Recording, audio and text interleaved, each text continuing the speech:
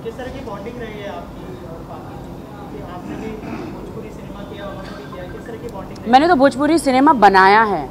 Like like, uh, हमारे बॉलीवुड में uh, Yashraj banner है तो भोजपुरी में तो मेरा बैनर oh, wow. है। तो कट्टा तनल दुपट्टा रवि किशन और uh, पवन सिंह को लेकर बनाया है।